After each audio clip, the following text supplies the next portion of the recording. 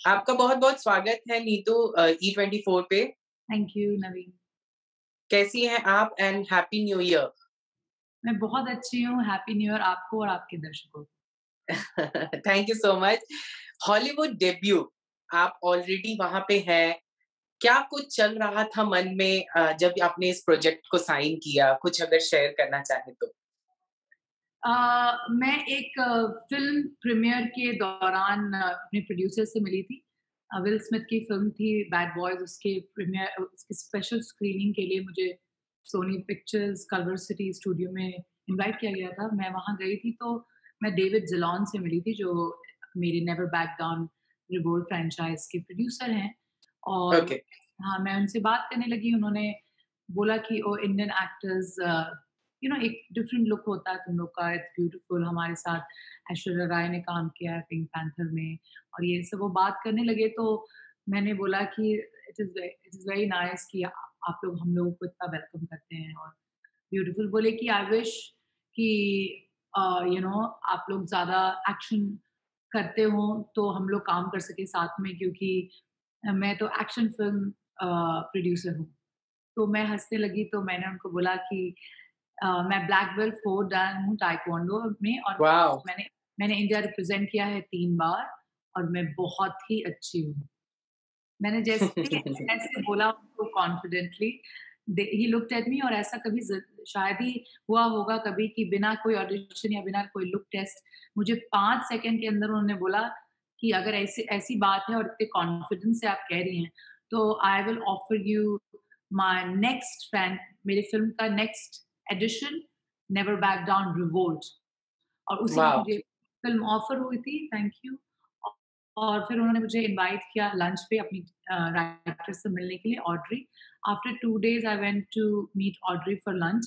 तो David, Audrey और मैं जब तक लंच कर रहे थे, हम बातें कर रहे थे, by the end of the meeting David ने ऑड्री को बोला कि I want you to write and design a character around Neetu and her skills और ऑड्री। ने जया ऑड्री ने जया लिखा और इस तरह से one of the lead amongst 2 girls जो कहते हैं ना 2 लड़कियाँ हैं जो मेन लीड हैं, मेन लीड के बाद जो रोल है थ्रू आउट द फ़िल्म वो मेरा रोल है जया का। वाह!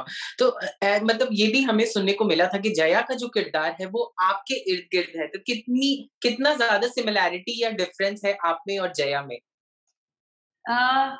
ज जैसे अंदर से जया घबराती रहती है और बहुत सारी इमोशंस रश करती हैं, लेकिन ऊपर से एकदम कोल्ड ब्लडेड एकदम जैसे कोई फ़र्क ही नहीं पड़ता, उस तरह से है है।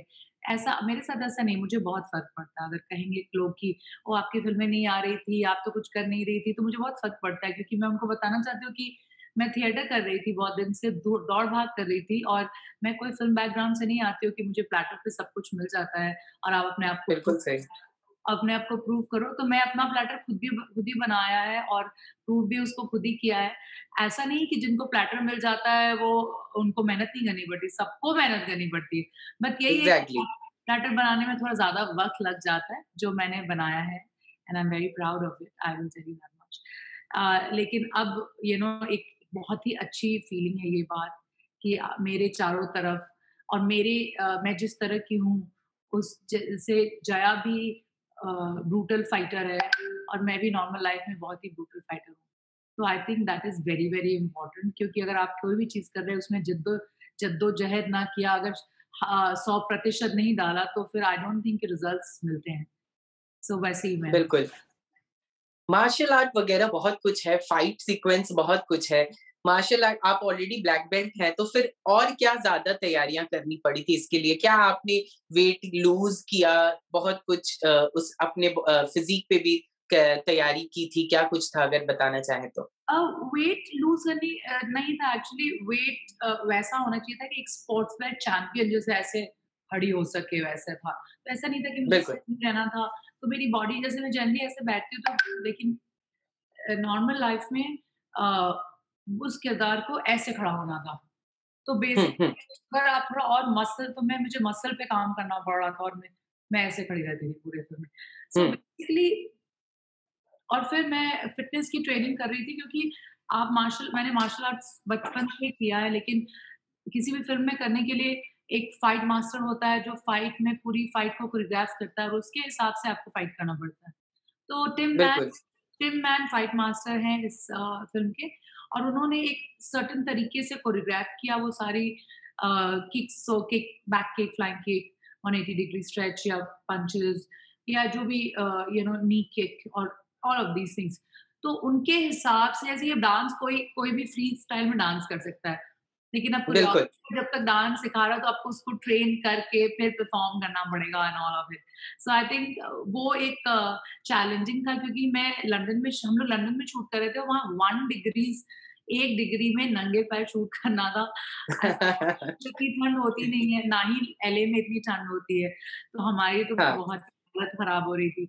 पर जो करना था वो करना था। तो इसीलिए I think that is been a pretty tough thing क्योंकि वेदर ऐसा था, हम बॉडी वार्म अप ही नहीं हो पाता था। एंड जब तक वार्म अप होके एक सेकेंड के लिए भी आप बाहर जाते थे या रुकता था तो वापस से कोल्ड, फिर वार्म अप, फिर ऐसे अ, हमेशा हीटर नहीं ऑन रह सकता था, ब्लोअर ऑन नहीं रह सकता, आवाज़ आ रही है, तो ये शूटिंग के दौरान फिर बहुत डिस्टर्ब तो वो सारी चीज़ें कोविड का सम समय समय था, तो सबको हाथ लगा के ही रखना था और हम ज़मीन से क्योंकि ये अंडरग्राउंड फाइटिंग की शूट थी, तो हम ज़मीन से लिफ्ट से नीचे सीढ़ियों से नीचे जाते थे, मतलब जैसे भी चले गए लिफ्ट से या सीढ़ियों से, नीचे जाते, जाते, जाते एंड फिर वहाँ शूट होती थी, तो और भी ठंड बढ़ जाती थी। ठंड होती थी। You know it was all frozen but but you know अब कोविड के समय वैसे भी किसी को काम कहाँ ज़्यादा मिल रहा था, हम एक्टर्स तो ऐसे ही बैठे थे तो exactly. I am so proud and इसमें मुझे बोलने में बिल्कुल तो शर्म नहीं है कि मैं बहुत इंतज़ार कर रही थी कि मेरे को काम मिल जाए बिकॉज़ बहुत सारी फ़िल्में रुकी हुई थी, कोई फ़िल्म रिलीज़ नहीं हो रही थी and I was like oh my god मुझे तो इतने दिन तक बैठने की आदत ही नहीं है, किसी को भी नहीं होगी आई एम श्योर जितने भी हम एक्टर्स हैं। लेकिन मैं तो बहुत ही खुशकिस्मत मानती हूँ क्योंकि मुझे कोविड के समय इतनी बड़ी हॉलीवुड मेन स्ट्रीम सिनेमा में ब्रेक मिला और one of the main leads मिला क्योंकि मैं हमेशा डरती थी कि हॉलीवुड में कहीं ये मुझे ना बोले हाँ ये पाँच मिनट का रोल है, ये दो मिनट का रोल है, कर दो। मैं तो नहीं करूँगी मैं तो मैं तो नहीं करूँगी। मैं मैं नहीं करूँगी। ऐसे देखते रहते हैं। मैंने मैं तो नहीं करती अभी मेरे को करने ही नहीं मतलब कि ऐसा नहीं हुआ मैंने मैनिफेस्ट किया एग्ज़ैक्टली। और I guess I don't know जो भी जितने लोग ने बड़े लोगों ने आशीर्वाद दिया और मेरी माँ का श्रेय इसमें मुझसे ज़्यादा है। उन्होंने मुझे उस वक़्त से सुपरस्टार कहकर उठाती थी जब मुझे सुपरस्टार का स्पेलिंग भी नहीं पता था। तो! आई थिंक मेरी माँ का बहुत नीरा श्रीवास्तव मेरी माँ का बहुत बड़ा हाथ है इसमें। तो नीतू जी एक एक बात हम ये जानना चाहेंगे कि जब आप वहाँ पे मूवी कर रहे थे, तो उन लोगों के नज़र में इंडियन बॉलीवुड एक्टर्स की के बारे में क्या राय है? क्या कुछ है? कुछ आपसे बात हुई होगी या कुछ हाँ। अगर बताना चाहे तो? हमेशा हमेशा बात होती है एक्चुअली उनको ये लगता है कि हमारे जैसा गाना डांस कोई नहीं कर सकता है। जैसे बहुत बार ऐसा मैंने कहा बिल्कुल हमारे कल्चर में हम हम आते ही म्यूज़िकल कल्चर से हैं, हमारे इतने सारे डिफरेंट ट्रेडिशन है, म्यूज़िक है और डांस फॉर्म्स हैं, म्यूज़िक फॉर्म्स हैं, आप शास्त्रीय संगीत से, क्लासिकल से, हिंदुस्तानी म्यूज़िक से, साउथ इंडियन कुचिपुड़ी से लेकर कथक, भरतनाट्यम आप कुछ भी देख लीजिएगा तो इतनी भाषाएँ हैं, इतनी सारी चीज़ें हैं कि मतलब सात जन्म लग जाएँगे इतने चीज़ को समझने के लिए यू नो तो आई थिंक कि उनको ये ज़रूर लगता है कि हम गाने डांस वाले फ़िल्म इंडस्ट्री से आते हैं। लेकिन रीसेंट टाइम बहुत सारी चीज़ें उन्होंने खुद भी देखी हैं और मैंने भी उनको पुश कर करके हिंदी फ़िल्में दिखाई हैं। जैसे मेरी डायरेक्टर डायरेक्टर है इस फ़िल्म की डायरेक्टर है वो फीमेल केली मैडिसन। ओके, उन्होंने okay. भी बहुत अमेज़िंग थॉट प्रोसेस के साथ मैंने उनको अभी कुछ दिन पहले ही वो सिंगम राव राव राइट तेलुगु वाली जो फ़िल्म आई है हाँ, हाँ। नहीं सिंघम राव नाम है ना उसका क्या नाम है उस फ़िल्म का? सिंघम। सिंघम नहीं, सिंघा राव यू नो अभी it's on Netflix right now पूरे पूरा नाम। याद नहीं आ रहा है। लेकिन मैंने उसको उसी दिन केली को दिखाई थी and Kelly was like god this kind of thought process uh, how do they write it? It's so amazing. मैंने कहा you know you have to start seeing क्योंकि हमारे यहाँ भी बहुत अच्छे सिर्फ़ गाने डांस वाले फ़िल्में नहीं होती हैं और भी श्याम सिंघा रॉय।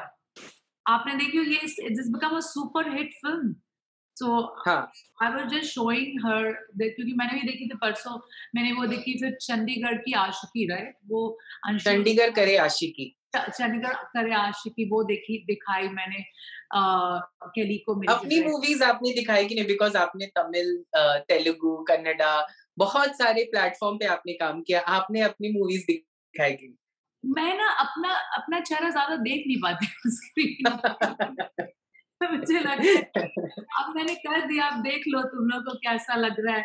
मैं आगे बढ़ दूसरी काम कर लेती हूँ यार मतलब कितना देखा जाए? तो मतलब मैं तो कैली ने देखी है वैसे ओए लक्की लक्की हुई मेरी फ़िल्म देखी है। और काफ़ी फ़िल्में देखी और हंसती रहती क्योंकि सब में मैं गाना डांस कर रही हूँ। Like you dancing here you dancing there oh my god you dancing like हमारे यहाँ फ़िल्में में गाना डांस इवन सीरियस सिनेमा भी बनेगा तो गाना डांस एक बहुत ही कहते हैं सिंसियर वे में डाला जाता है। ऐसे बिल्कुल। ऐसे ही कुछ डाल रहे डाला जाता है। तो हम्म। इस फ़िल्म में गाना डांस कोई सीन नहीं दूर दूर तक। मुझे कैली ने जैसे प्रेजेंट किया है डायरेक्टर ने वो मुझे बोलती रही तुम्हें मैं बहुत ही ज़्यादा ब्लडी ब्यूटीफुल बना रही हूँ इस फ़िल्म से।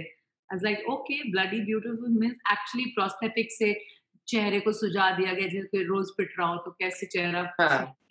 आँख के नीचे से गड्ढा आना चाहिए वो हो जाए। लाइक यार अभी से तुम ऐसे कर रही करिए मतलब बीस साल बाद जब असली में आए कैसे कैसे मैं लगूँगी? अभी वो मुझे बताती थी when you go old you going to look like this you know fat